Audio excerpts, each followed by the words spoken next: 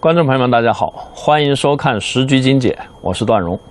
呃，今天为大家讲解的这盘棋是第二十四届 LG 杯世界棋王公开赛，呃，本赛里的一盘对局，这是三十二强的比赛。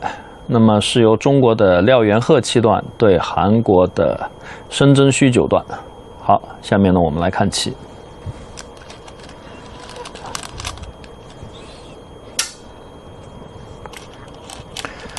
那么申申真谞是黑棋啊，白棋是廖元鹤。嗯，这个申九段应该说是在在目前的话，韩国是排名前两位的棋手，另外一位呢就是朴廷桓了。那么廖元鹤呢是。很有实力的年轻棋手，现在的等级分应该是排在中国的第十第十几位吧，嗯，前二十。黑棋二连星，然后挂角，白棋呢小尖，这个小尖从古时候的秀策流的流流传到现在，现在又这个。频繁的出现在高手的棋谱里，特别是直白的话，这小尖是很很稳的一步。先把自己积蓄力量吧，先积蓄力量，嗯，然后慢慢发挥。这个这个局部呢，黑棋大致上当然是可以脱先。如果要在这里拆拆边的话呢，大致上是拆二、拆三。还有实战的走在这里，这这么几种选择，啊，也当然也可以考虑走这里。那么拆二是最最老实本分的下法啊，当然是不坏的。嗯，以前的以前的棋谱呢比较强调这棋拆三，因为觉得拆二被尖顶，如果是长的话，立二拆二不如拆三，追求这个效率。拆三呢，留下一个打入，但是呢，觉得靠出去作战，黑棋也不怕，所以以前的谱多是拆三的，现在呢就更更自由一些，不不只是拆二，拆在这里，拆在这里以前被认为是不太好，因为被白棋逼过来以后，这这边脚底下发虚啊，没有这个根基扎得牢。那么还有一点呢，就是上上边跳是先手，白棋容易扩张，所以以前很少拆在这儿，但现在呢，也就是说，肯定就是说人工智能对对这几个点的评分应该是这这两个应该是差不多啊。那么拆在这儿也有它的好处，比方说将来挂过来，假设简单的飞了飞，哎。或或或者说就这样吧，那么可能这这个结构啊会更好一些。当然，或者说脱了斑了以后再贴起来，可能这这个的话，呃，配合也会更好一些。至于白棋要逼过来的话，现在现在黑棋就脱先了啊，先拆一下就当已经加强了这颗子。白棋是这样挂，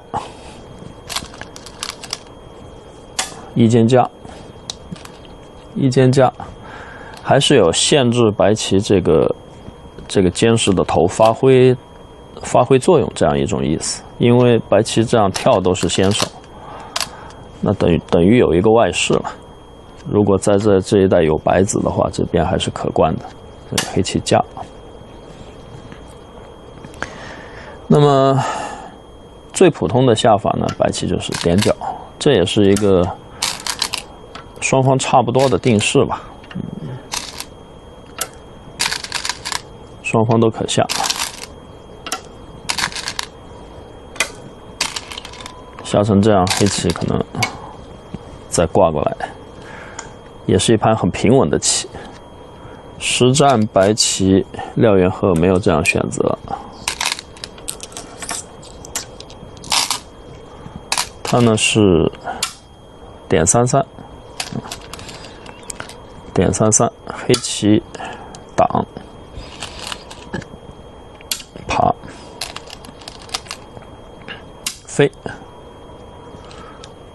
黑的选择的是飞，这这个局部呢，可以考虑的其实长搬飞三种。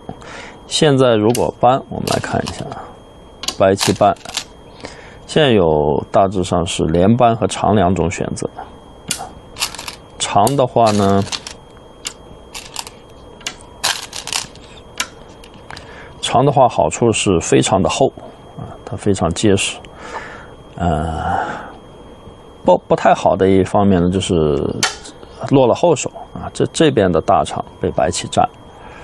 那么白棋占了这个大场之后，可以很好的限制黑棋这个后市的发展空间。那么如果搬下来的话，就是取地，跟跟刚才那个图是完全相反的。黑棋取地，那么白棋先手拔一个子之后，恐怕在这边的选择，白棋就不是点角，可能会双飞燕之类的。嗯，这应该也也是一盘棋啊。好，这是搬的最两两种最主要的变化吧。嗯，那么长的话呢，白棋大致上有爬、跳、飞三种选择。如果爬，黑棋搬，白棋搬啊。这时候呢，黑棋大致上有脱先、长和搬这个。这三种下法，那么如果长呢，跟搬长是大同小异啊，差别不是很大，还是黑棋很厚，但是白棋取得先手这样一种格局。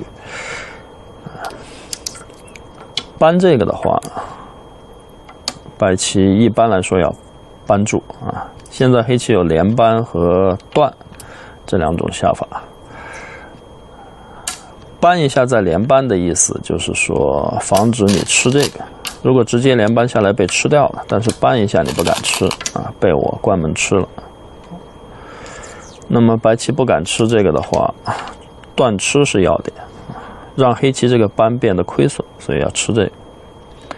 黑棋打，这时候白棋大致上有断打和打这个两种选择。如果这边价值很大的情况下，白棋可以打这个。再吃掉这一颗子，黑棋呢根据选情况选择是提先手，或者是这样打吃一下先手。那么另外一个就是断打，断打完再提啊，这这个是著名的阿阿尔法围棋定式啊，阿尔法狗定式。那现在这个局面黑棋争不掉啊，白棋这个尖，这头很坚实。引到争了，黑棋争不掉，争不掉呢，黑棋有点难受。好，搬完之后，另外一个下法是断这个，断这个是也是最近比较常见的。黑棋白棋打吃的话，黑棋就打，等于是打下来了。跟长相比呢，在这边围控的可能性变大。那白棋现在可以脱先。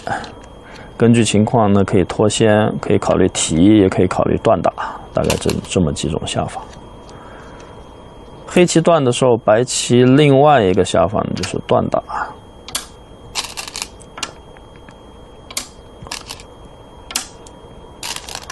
那么黑棋吃掉，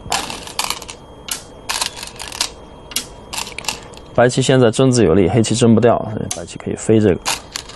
黑的争不掉的情况下呢，飞这个是是棋形啊，这也是一种定式啊，在实战里面也是经常看得到的。所以呢，这以以上呢，大概就是白棋爬了班的变化。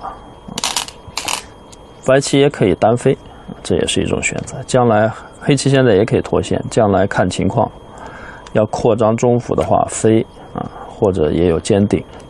还有一种下法呢，是搬完之后靠这个，白棋如果冲的话，黑棋断，就还原刚才的图了。嗯，大致上是要把白棋包进去的意思。搬完靠，如果要在要想在这边围控的时候，可以有这样的手法。那么白棋还有一种选择就是跳，跳的话要注意，黑棋如果争子有利的话，黑棋直接冲断完把白棋争掉，白棋可能。略略略微有，特别是在没有什么合适的引针手段的情况下，被争掉总是有点不肯。但现在这个局面呢是争不掉的，所以白棋跳也是一种选择。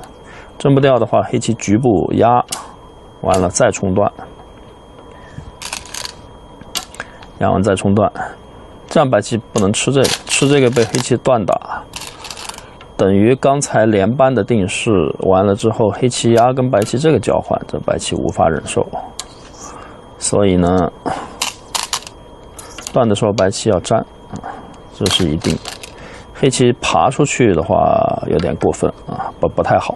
白棋脚上气非常长，黑棋不知道要爬到哪一天才才，而且还有被白棋扳住的可能性，所以顶这个，顶白棋不能拐。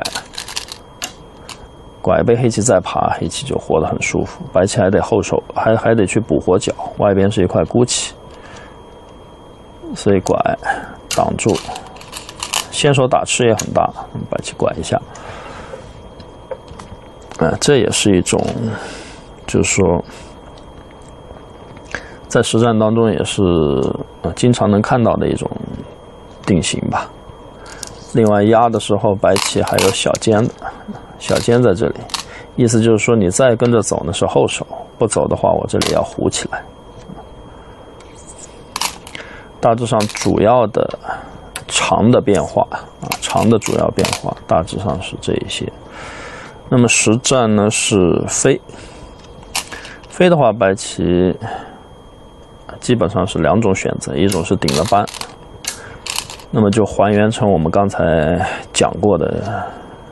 那个棋形，还有一种呢是单拖，单拖呢就会比较复杂，黑棋有扳这个的可能性。黑棋如果一旦搬的话，白棋也似乎也不太也不太肯退啊。顶是最抢手，那黑棋不能挡，挡被白棋吃掉了，所以长，黑棋长呢强调白棋这搬一下亏损，这样的话就形成一个。白棋会冲断，形成很复杂的战斗。黑棋局部局部最强是尖这个，白的这个子不能死。然后这里有断打的问题，这这就复杂的战斗，各种纠缠。黑棋贴扳，嗯，这盘棋呢是白棋，白棋也没有拖啊，白棋避避开了这个复杂的下法。而是选择的单顶，单顶黑棋大致只有打。现在长白棋不扳这一下，直直接把黑棋冲断了，应该应该是黑棋断点那么多，有点薄啊，总感觉有点无理吧。扳，好，之后呢，黑棋保留长扳，各种可能脱先挂角。小飞之后拆二，嗯，白棋挂了一下不走，挂了一下不走呢，黑棋这个地方怎么进攻这个白子？大致上有尖顶压这个，或者尖到三三这这么几种几种下法吧。如果压这个的话，白棋。最抢手是挖，如果白棋争子有利的话，可以挖啊。但是现在这个局面争争子不利啊。就我们说的争子就是这个，黑棋打完粘上，白棋能不能争掉黑棋这颗子？现在黑棋挂一个等于引到争了，所以呢，所以是白棋不能这么下。如果如果在白棋争子有利的情况下，白棋可以挖这个，黑棋就也有打里面的选择，但是打里面的不能粘了，要贴这个啊。一般是打外面，然后白棋爬，这样呢是适合于黑棋就是取势的这种局面，黑棋取势价值大的局面，黑棋可以这样下。那么白棋顺势活了脚啊，这个他谈不上对白棋这个子的进攻。另外一种呢是尖顶，白棋根据情况看逃不逃这个子。那么黑棋实战是稳稳的在这里拆二，他拆二呢，下一步有两个好点，一是既然黑棋拆二把自己下后了，他下一步肯定就不会这样来进攻你了。这样走的话，白棋最低限度有个点角活角。他准备坚在这儿，我这拆二已经坚实了，坚在这儿把地守住。你逃出来的话，你是单关，我已经活了。你不逃呢，我就一步一步吃掉你，效率也很高。那么另外一个好点的话，就是你如果走这边，黑棋准备飞下飞进去，飞进去的话，掰的这两个子。再被黑棋再再点过来，这就彻底变成孤棋了。白的要往这走呢，也走在挺窄的地方，也有它难受之处。所以这拆二也很稳啊，就是下一步给自己留下两个好点。嗯，你如如果是现在走这边，黑棋可能觉得怎么选择都。都不如一二这两步棋，他他他认为这样是最好的，所以黑棋走这个。那么白棋现在就面临是在这边点角或者这这一类的双飞燕，还是走这个的问题。实战的选择是不让黑棋飞进去，坚定。嗯，当然这这个可能走哪一走哪一边好，也要看。也也是要看个人的棋风或者说判断，啊，走走这边的可能性也是有，就就这么点个角，应该也是一盘棋。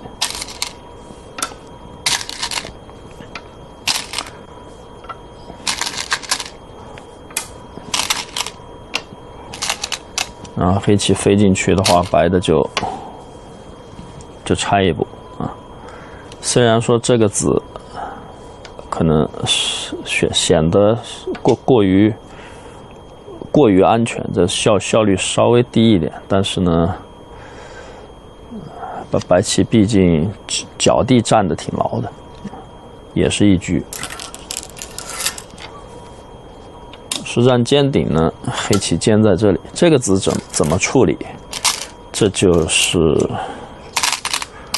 留给白棋的一个问题。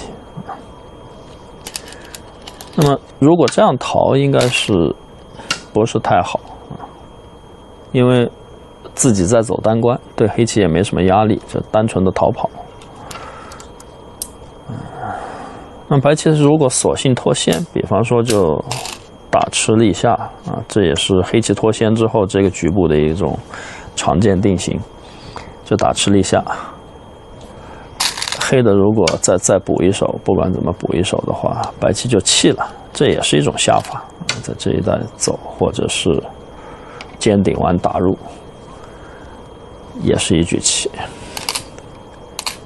慢慢下，实战呢，白棋比较火爆啊，逃肯定是不肯了，白棋走这儿，走了这个以后，下一步他打算把黑棋给飞进去。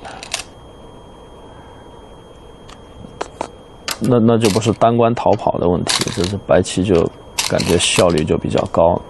如果你冲断，我反正打了虎，你这边一定是要硬的。那我这多一个子，这是贴下去之类的，这多一个子做起战来完全不一样。所以黑的肯定是要在这边走，黑的是飞，靠着吃呢。白棋还有搬完了。中府各种借用，黑棋飞在这儿。你要逃的话，黑棋正好顺势进攻。所以飞是七星。那白棋现在如果再这么走的话，这就有点不太合适了。等于你走了这个黑的飞一个，也也算是肯定有一手棋价值。白棋跑这儿来，不知道是什么意思啊？所以肯定是不不能打这个的。当然，白棋在走这一步的时候，他就已经想好了：你如果走这边，我就要把你飞进去。你吃那个呢？跟这步棋相连贯的是白棋要断开跟黑棋作战啊，这个很猛啊，是只说只能说是白棋很猛，但是究竟效果怎么样呢？我们来看看实战。这个子毕竟离得太远啊，对于这个断能起到多大的帮助，我们还要看实战来检验。打完爬，这这几步都是必然的啊，不可能让黑棋拐下来，爬一下再长。如果粗粗粗一看的话，哎，我这长了以后，这边要飞下来。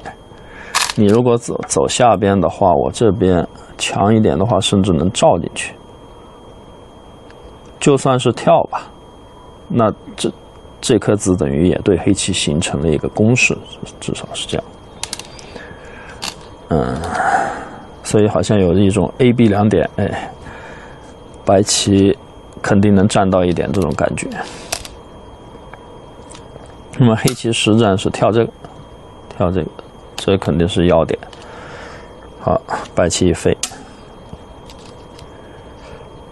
黑棋拖。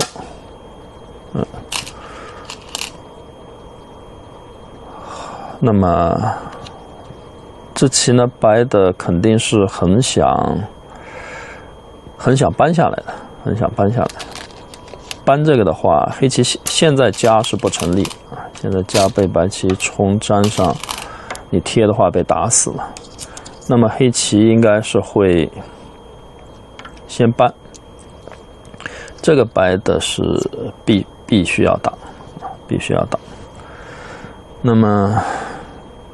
黑棋再再虎一下，虎的话，白棋打上来，黑的也许会选择这个吧，简单的图，加完打吃，然后虎，白棋可以打一下，不能再打，再打被贴死，加死一子，然后黑棋虎，黑的也活了。嗯，总之，黑棋活呃活棋不成问题啊，黑棋活棋不成问题。这个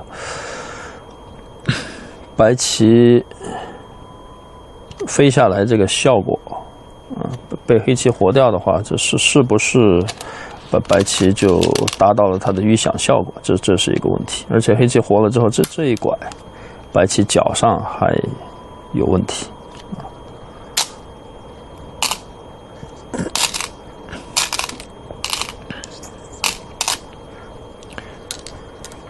那么白棋实战呢是退，黑棋搬虎，黑棋搬虎，白棋一路打是绝对的要点啊！这被黑棋一搬，黑棋已经活了。白的粘的话，黑棋拐还先手，白的还得再爬，那那边那个子又受伤，所以一路打是眼形的要点。那黑棋跳出。好那么被黑棋跳出之后，白棋跟跟刚才的图相比呢？刚才黑棋这里有颗子啊，这这一拐让白棋很难受。现在呢倒是没有拐的问题了，但是黑棋跳出之后，总觉得白棋这个飞恐怕不是不是像一开始感觉上那么严厉，黑棋也轻松处理了，这个子也跳到这里了。那么白棋要攻黑棋这块或者这块都都不现实，谈不上对黑棋进攻，反倒是白棋这颗子和这块棋都都还需要都都还需要处理，都还没活呢。所以看起来白棋这个断打效果不理想，啊，这这个走一下再断的构思，呃，没有得到一个好的效果，还还是打吃立下可能是本手吧。现现在应该是黑的好下嗯，白棋刺，去爬，白的如果冲过来呢，黑棋就搬。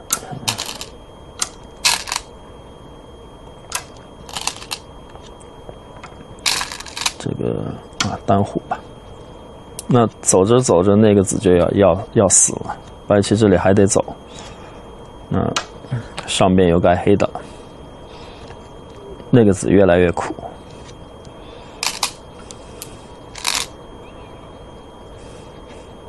白棋是让长，那黑棋再爬，白棋肯定也是要长，啊黑的双。黑棋爬两下呢，是把白棋眼位给自己的眼位也增加一点，白棋的眼位减少一点。双提，双完这一扳，然后粘上，这这个白棋有点难受。提一个，提还是很大的。提完了之后，这里有冲完了，呃，扑局局部有这样的手段啊，我们。可以看到，白白棋将来外边如果没有没毛病的话，铺完再铺，跟黑棋打劫，有这个手段。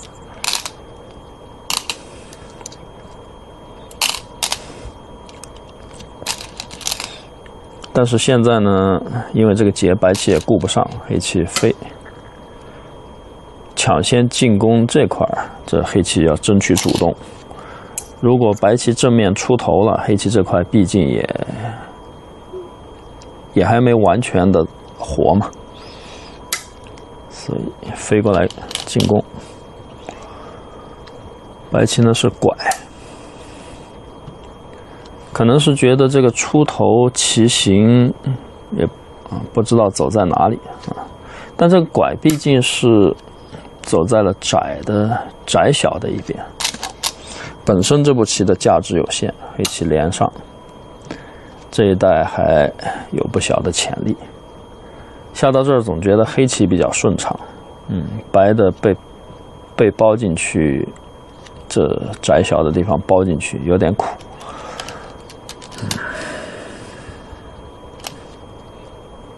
就是说这个白棋被动的根源还是这个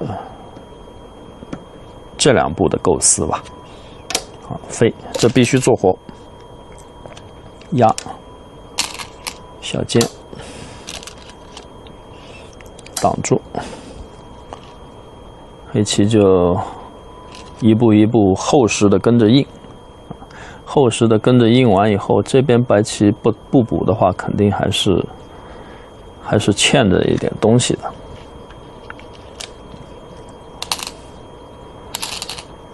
补当然，现在如果补的话，很明显是太委屈了啊。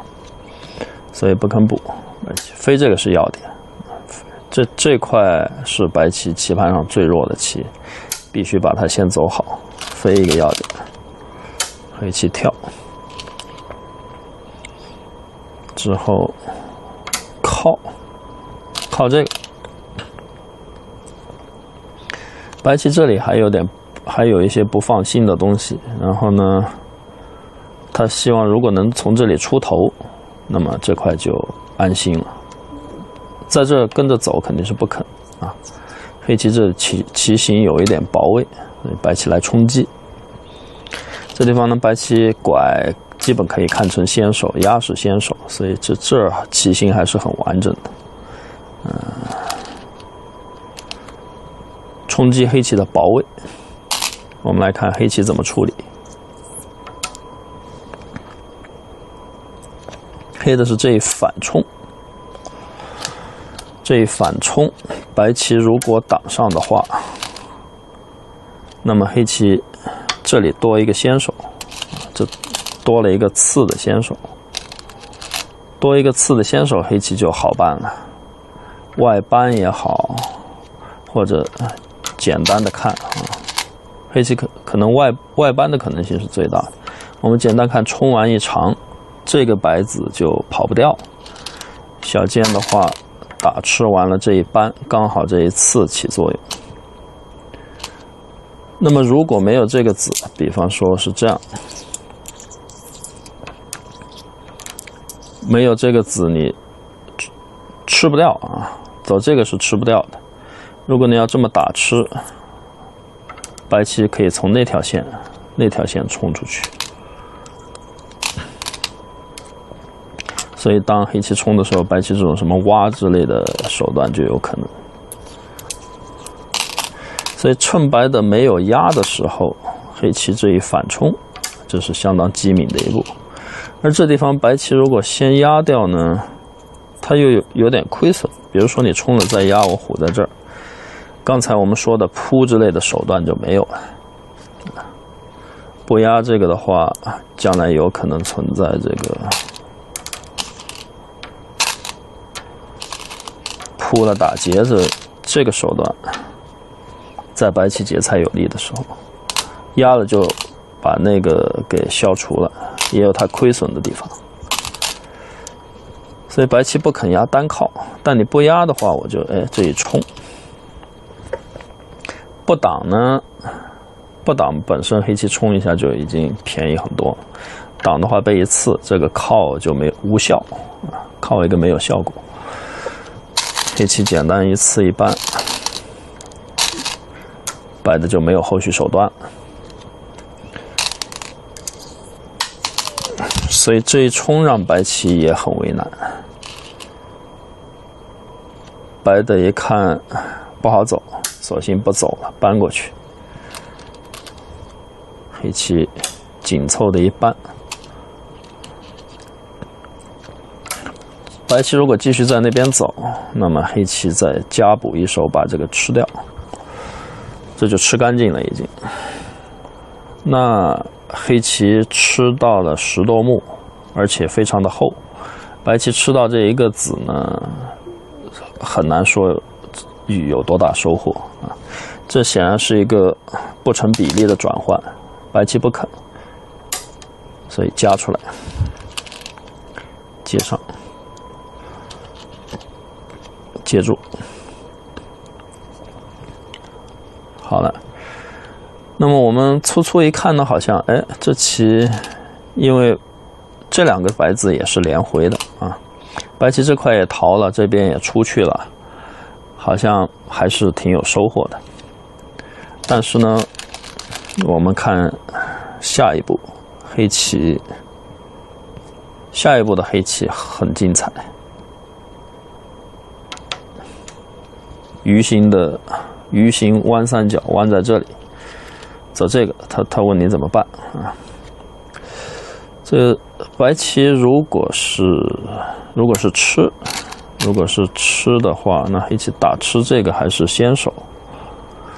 打吃这个先手，那白的如果提，直接照也照死了啊，或者是贴在这里再长。这个白棋也死掉了。那如果你接在这儿的话，一来这里还有冲，那黑棋先拐，然后一路冲出去，顺势冲出。这个白棋一通被冲的一通单关也是很惨啊。黑棋还可以回冲这个，这边又把你三子给断了啊。这个白的也是。有点崩溃的感觉。那么，如果接在这儿的话，黑的还是一通冲，然后把这个断了，这白的也不行。下一步不知道怎么办，吃的话被包进去，长出来的话，黑棋先出头，然后再一断，白的什么都没走到，走了一通单冠，这显然不行。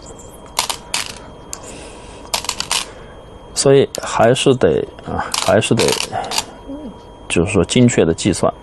粗粗一看，好像啊，白棋出了头了，反倒把黑棋卷进来了。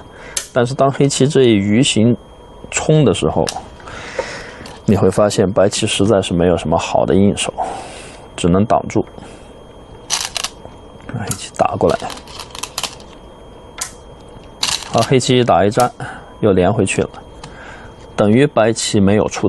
等于白棋这块没有出头，然后呢，这整个走了一圈的结果是黑棋这块变厚了，黑棋这块变厚了，而白棋这块呢并没有得到加强，这里也没有出头，所以白棋这个靠，白棋这个靠的这个反击，被黑棋这一冲就可以说完全化解，并且呢，黑棋进一步扩大了优势。外边飞，这是一个要点啊！如果让黑棋走过来，黑的这一带扩张，同时进攻白棋这块，飞呢加强这块棋，下一步要靠，要靠断黑棋。黑的如果这么走，白棋顺势顶，这样的话，外边也走到，里边也走到，黑的是靠。白棋里边不放心，啊，里面呢是没完全活，所以顶在这里，增加一个眼位，虎一个防止挖，而且虎虎一个防挖呢，白棋顺势一挡，哎，把这个子也走好了，长。这扳是一定要抢的啊！如果让黑棋挺过来的话，白棋这块变弱，黑棋这这地方也长不少空。扳，好，点，并不能吃掉白棋，但是呢，可以先手一通搜刮。这里要扳过，你如果走这个的话，走这个的话，黑棋是。是病症，病在这里。那白棋没有活啊，没活。退的话，它挤过了。要啊，要想活也行，要想活得付出代价啊。挤先手，打吃先手，再虎这个就活了。但是呢，黑棋是先手吃三子，先手卷走三颗子。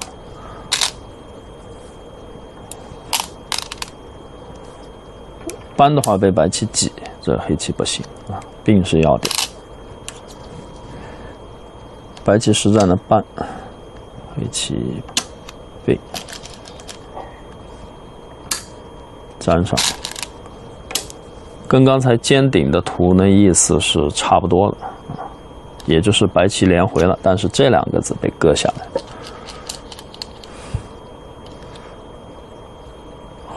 啊，看上去还。未必未必有尖顶这个图好啊！尖顶黑棋并，白棋收完气的话，这里这里还能有有一点目，这样回去的话，目数似乎还稍微少了一点。好，总之是黑的先手把这两个子割下，啊，又又来了个。石木棋的样子，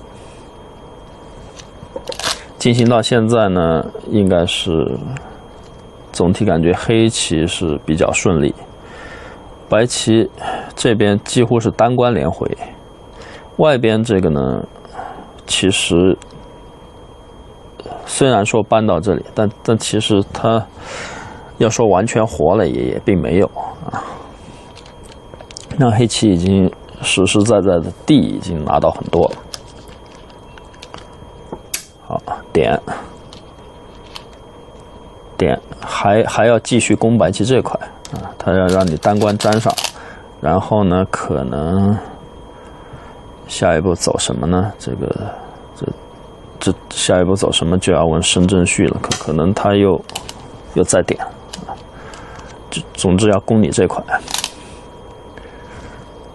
好了，白棋这时候愤怒，打，啊，再再粘，如果都跟着应的话，白棋觉得这形势形势不利，都跟着你应是不行的，那么反击打，你要断就断，反正跟你作战，跳出来，黑棋粘上，粘上很大啊，这关系到白棋的眼位，粘上白棋一下就薄了。点刺一下，长，先处理这块，贴，把这个子牢牢吃住，飞。好，飞到这儿呢，白棋轻飘飘的处理。你这这边你断我打出来你也吃不掉，吃那个呢当然是残子，白棋无所谓了。嗯，基本上走几步，白棋上边暂时算是处理好了。好，那么黑棋把目标把目标集中在下边。这一次，这一次白棋如果粘。本身很难受啊！这一粘单关粘回去，被黑棋一接，黑棋这里非常厚，长或者跳，长的话这里有一段，嗯，那么黑棋含着这个段的话，黑棋非常厚，白棋就可可以预见白棋必须单关逃跑，然后黑的一通一通进攻的话。顺势把左边围住啊，比如说贴黑棋捋过来，顺势把左边围住，那白棋就显然是显然是不行。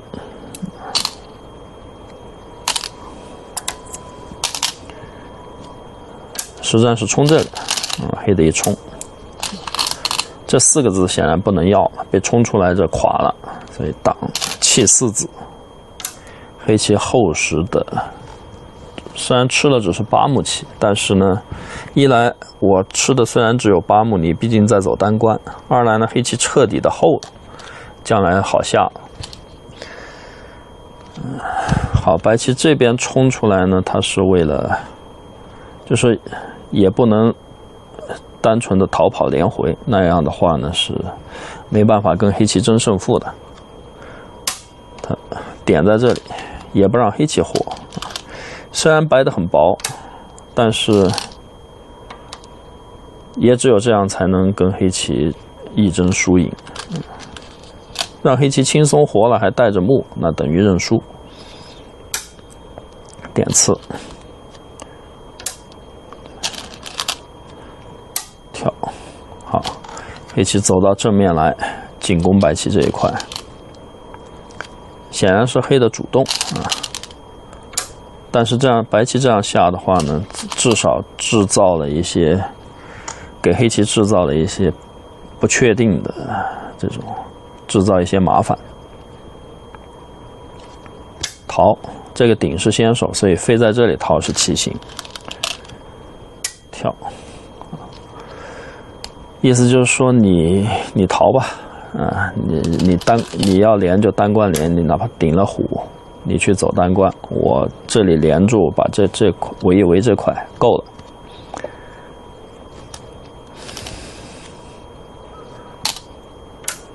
顶提，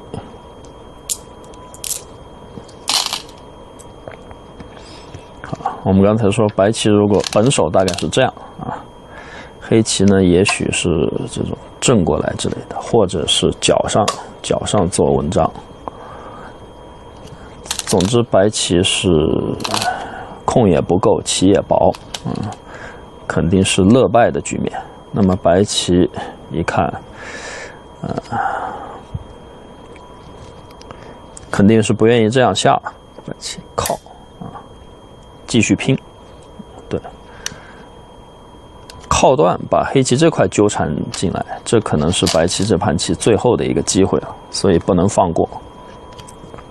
扳，黑棋也是寸步不让，连扳，吃。这时候普通的想法呢，白棋只有长啊，这个子被提到太大，但是长的黑棋就一吃，站上，你吃那颗子的话。这这边不管冲也好，扳也好，甚至就俗打了冲下来，这这白棋也不行。所以白棋靠完，他已经想好了，不是长的，而是退这个。哎，退这个什么意思呢？退你当然要提，我被我退了再长，等于你这块就被卷进来了。好，当你提呢，刺断啊，最后一搏，把黑棋这块给。给弄进来了。这个也是，就是说胜负意识非常强的，只不管行不行，白棋只有这样一搏，才有赢的可能性。果然这个是先手啊，下，也就是说，作为做活来讲啊，黑棋下一步不管怎么补就活了，所以白棋必须是要杀，必须要杀呢。黑棋这个冲是先手，我们可以看到，先挡。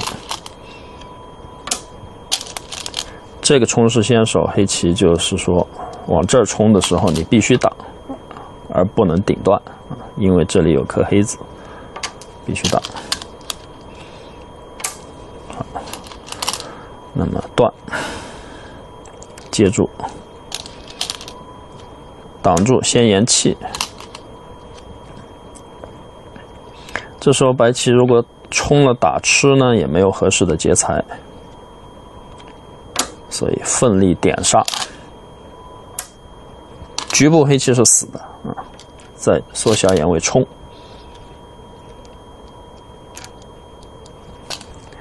点了再一冲，然后再冲，局部黑棋死了。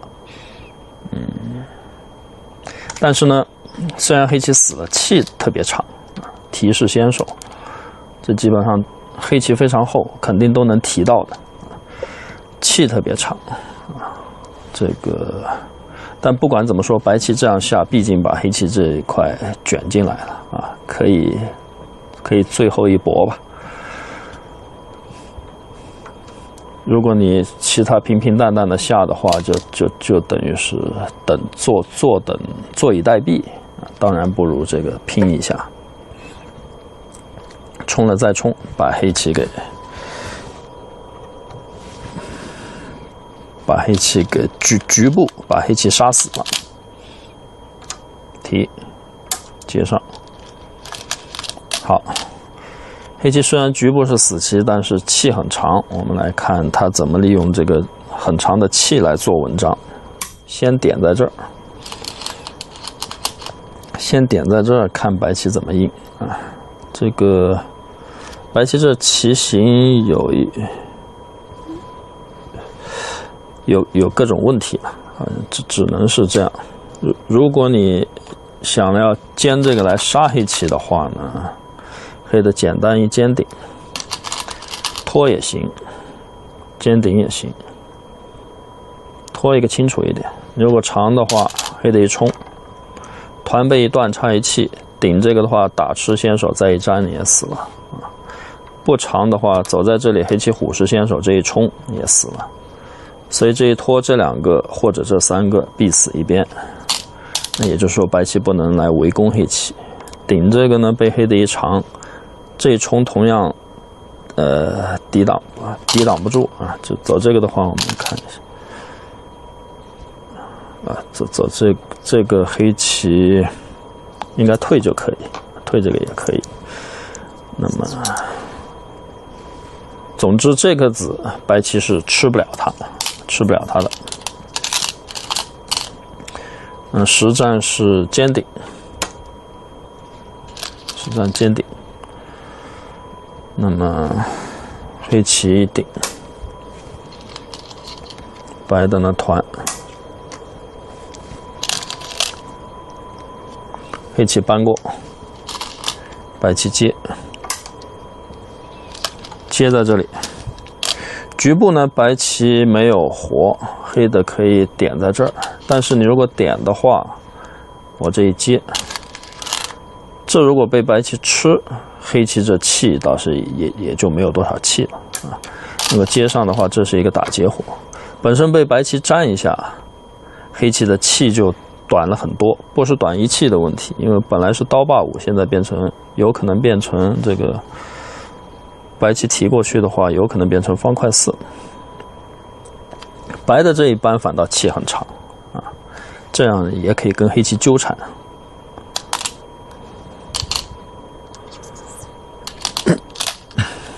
好，白棋接到这儿呢，黑棋先保留，看，等一会儿看看我是点呢还是先手提这个，先靠一下，靠。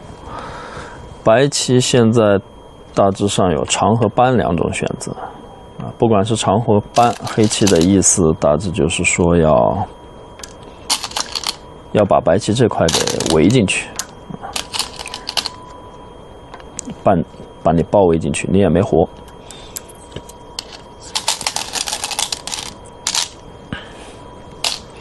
白棋实战呢是长的，长，黑的挖，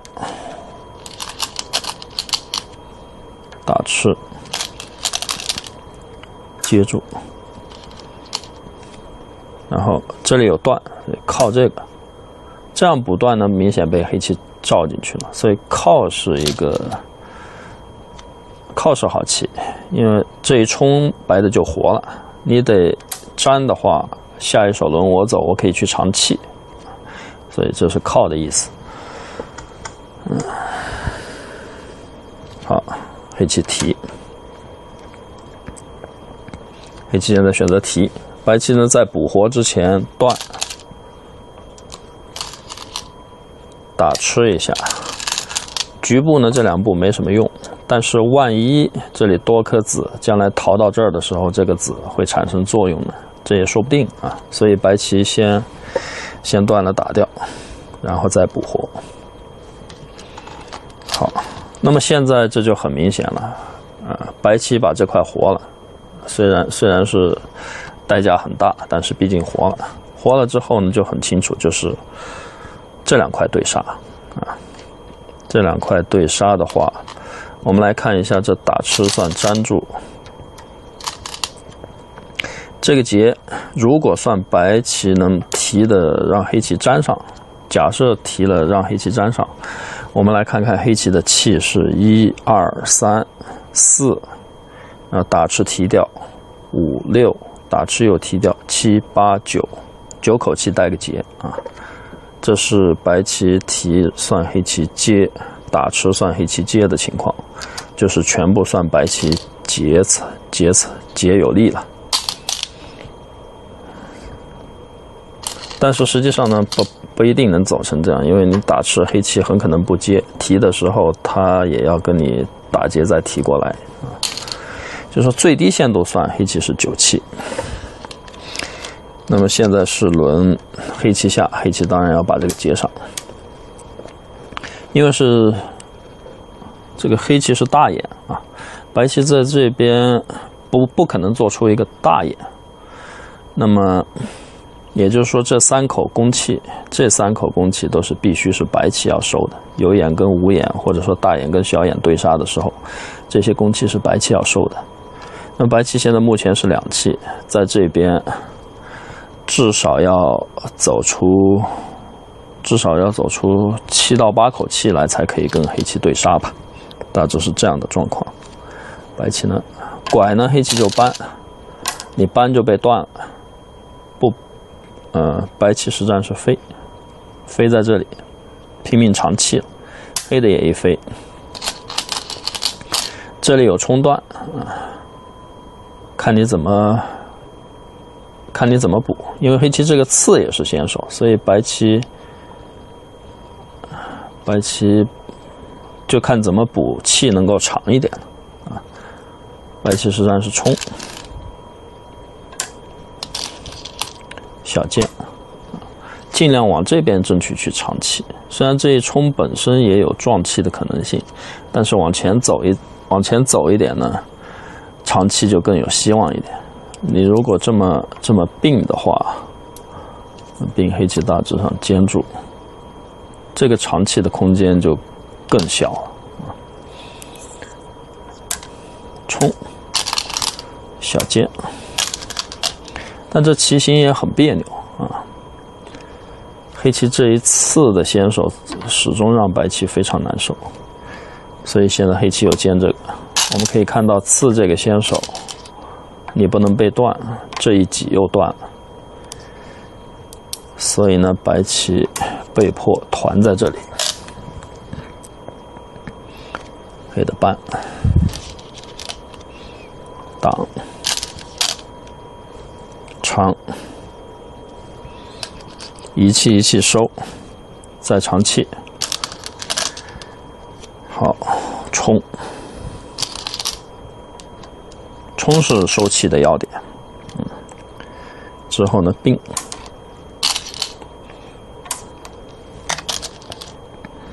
完了之后断，断也是收气的要点。啊。这种地方被白棋接上的话，它有四口气，这断一下，基本上可以看成将来可以看成黑棋断跟白棋提交换，那等于白棋只剩两口气。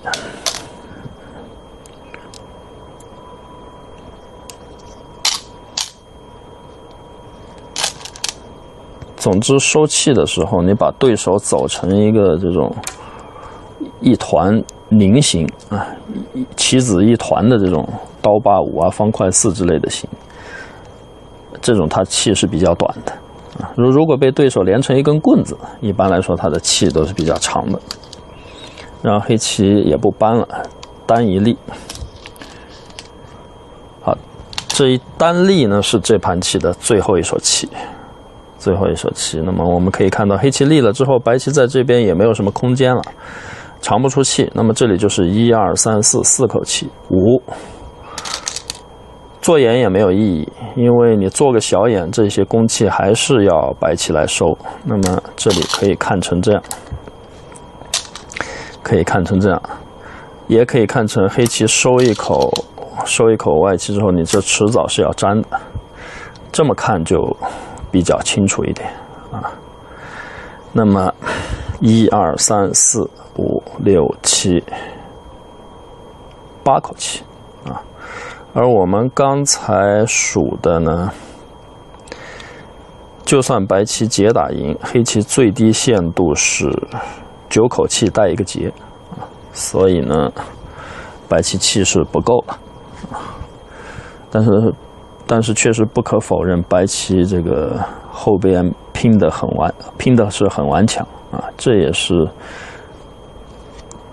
强行扭断跟黑棋杀气，也是可以说白棋最后唯一可能获胜的机会吧。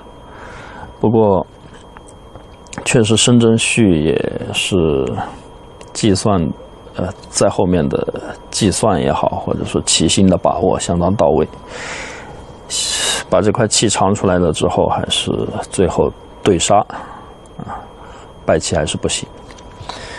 那么这盘棋我们要总结一下呢，就是白棋一开始布局的时候，这个这个走个先手，然后断，这个作战的组合构思可能有点过分了。啊，导致黑棋跳到这个要点，然后再把下边处理好了之后，嗯，就是黑黑棋比较顺畅的局面。然后在后面白棋啊形势不太有利来拼搏的过程当中，黑棋一直处理的是相当出色，这个体现了申真胥的实力啊。比方说白棋这一靠的时候，你要处理不当，可能就被卷进去了，但是黑棋这一冲。通过这一冲，到到后来这一弯三角的鱼形好手，这一弯三角顺畅的全部连回，连回之后，黑棋进一步的扩大了优势，把优势扩大，然后先手把这个吃到，把中间四子吃到，黑棋都一帆风顺，白棋啊尽力的最后靠断至最后一搏。看上去黑棋也是非常危险的啊，这这一搏确实很有利，但是呢，黑的棋形把握也很到位，计算很精准的，最后在对杀当中有眼杀无眼，把白棋大龙给杀下来，把白棋大龙给吃掉。嗯，总体来说看，确实是申真胥的完胜的一盘棋吧。啊表现非常出色。那么，我们的小将廖元鹤气断呢，这盘棋下的略显着急了一些，有点急躁。好的，那么这盘精彩的对局呢，就为您讲解到这儿，谢谢收看，我们下一期再见。